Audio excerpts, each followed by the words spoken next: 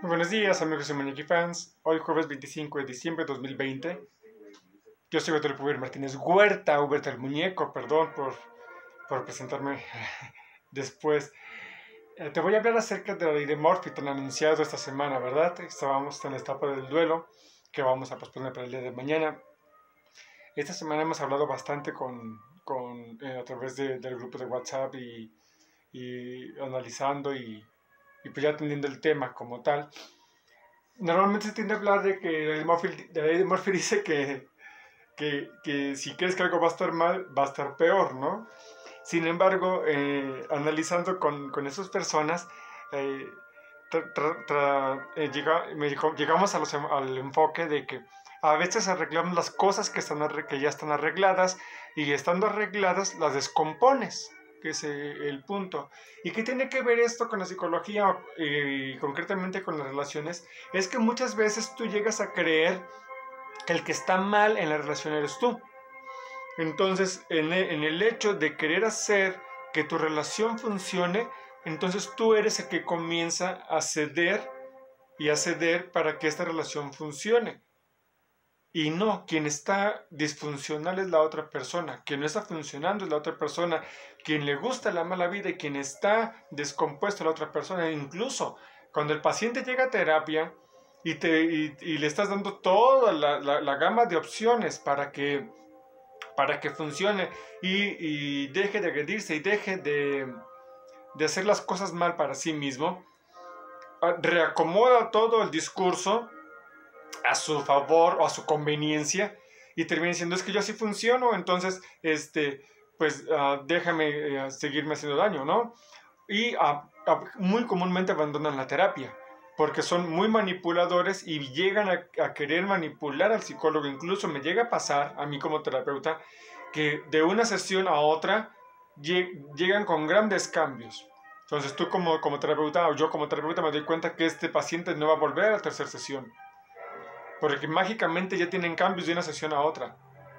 Entonces, en la relación de pareja también te llegas a dar cuenta cuando a la persona de una charla en la que ya todo quedó claro, a la siguiente entrevista, a la siguiente vez que, que, se encuentran, si es que no viven juntos, este, dicen, si es cierto, lo que platicamos vamos a ponerlo en práctica y más si ha habido una pequeña ruptura o ha habido una pequeña separación y, y ya todo va a ser diferente. Voy a tomar en cuenta lo que me has dicho porque es verdad y has atinado, ¿no?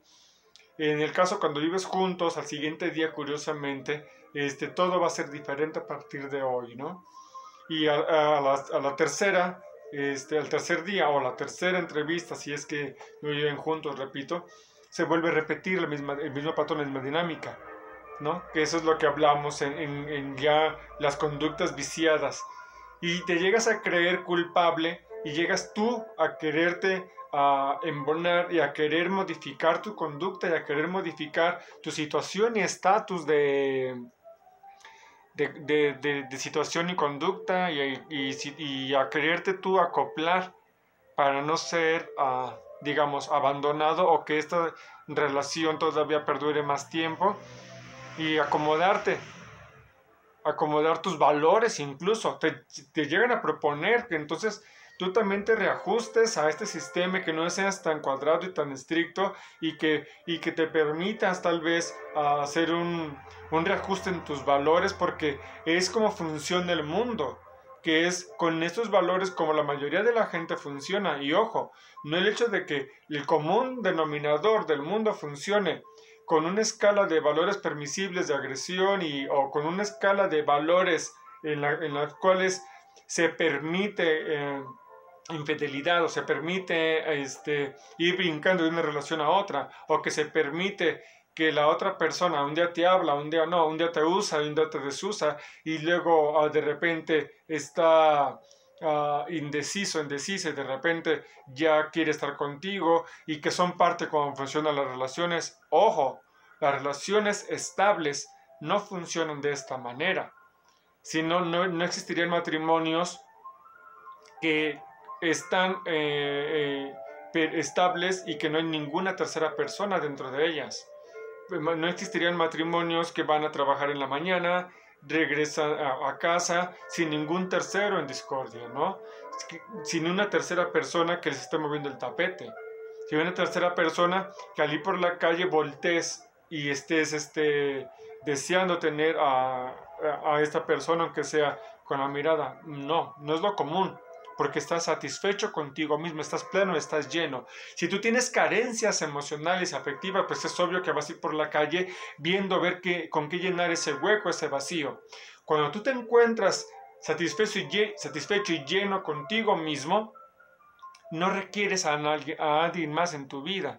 Con la persona que has elegido para vivir, te sientes pleno. Es más, si tú te encuentras eh, y vives, ya has elegido solo, vivir solo o sola, porque también hay, hay mujeres que han elegido vivir solas a, a, cierta edad, ya cuando eres profesionista, digamos después de los 40, que han decidido eh, llevar una vida ya eh, centradas en sí mismas, no por, por amargura, que se dedican al deporte, su profesión, etc., y se sienten plenas o se, o se sienten plenos eh, aunque estén, repito, viviendo consigo mismos, es un estado, es un estilo también de vida.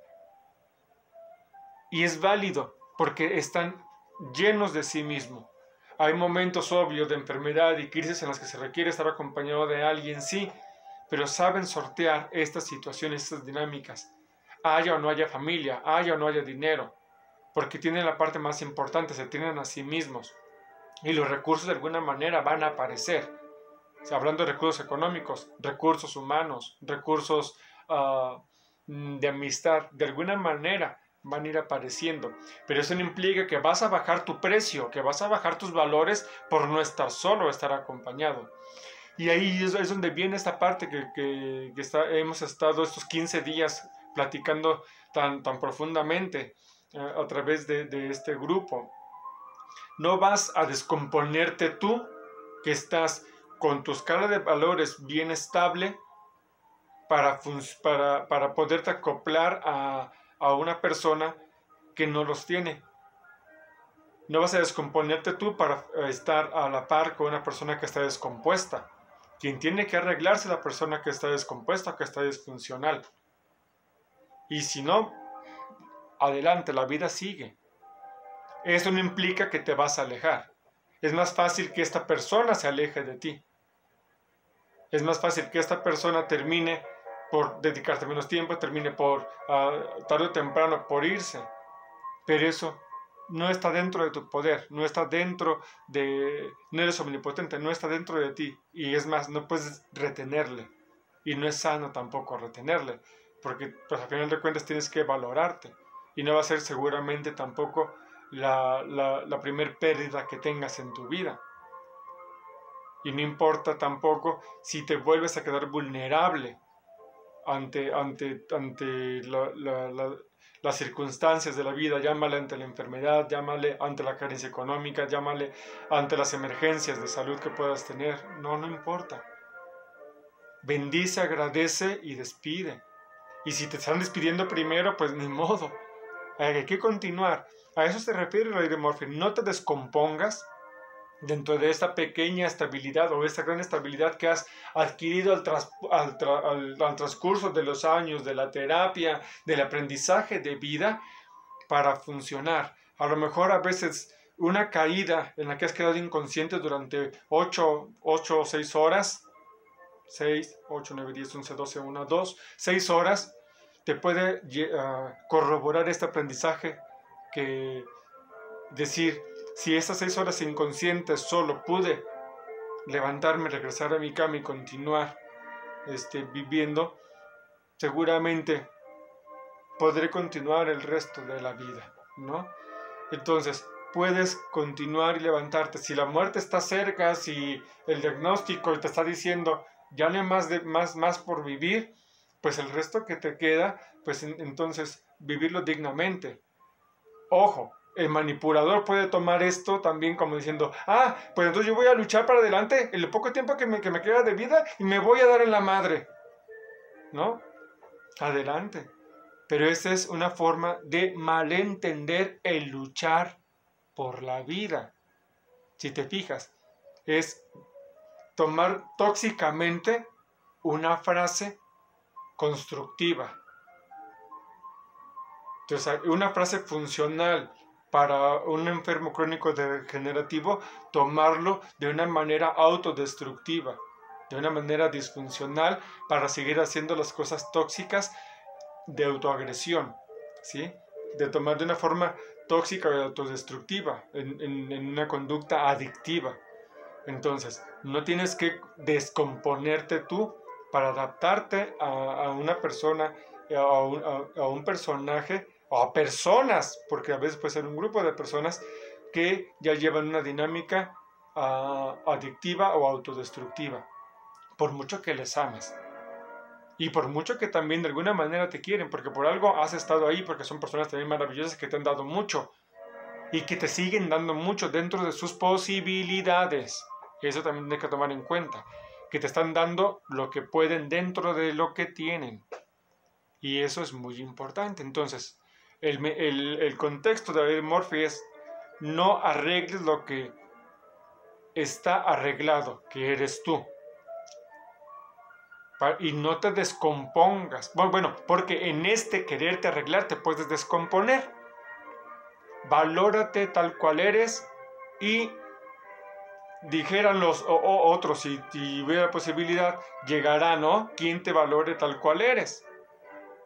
Pero también a veces no es necesario que alguien llegue afuera a valorarte, con que te valores tú y vivas tú y luches por ti, por vivir con, lo que tienes ahorita, que es esta vida, este, este cachito de salud que tienes, es más que suficiente.